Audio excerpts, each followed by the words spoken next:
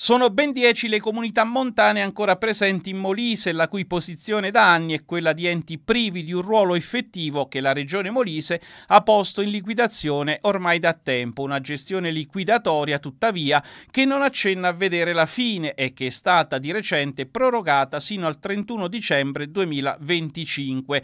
Dieci comunità montane per quattro commissari liquidatori che andranno avanti sino alla fine del 2025. Un'eternità eternità se si considerano gli anni già passati.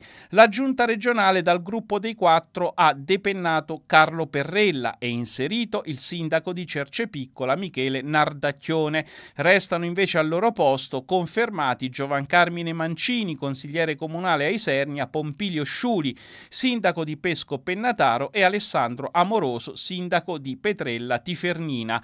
A ciascun commissario ha stabilito la giunta andranno 1800 150 euro lordi mensili omnicomprensivi.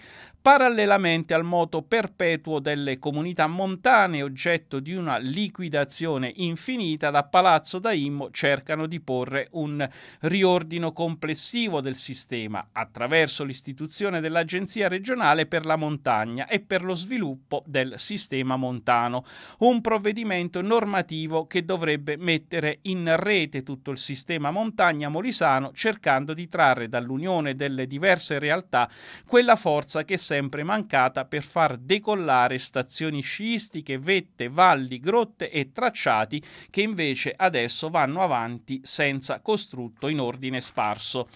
La legge in questione è arrivata in seconda commissione consiliare e il presidente Armandino De Gidio ha nominato come relatrice sul tema la consigliera Stefania Passarelli.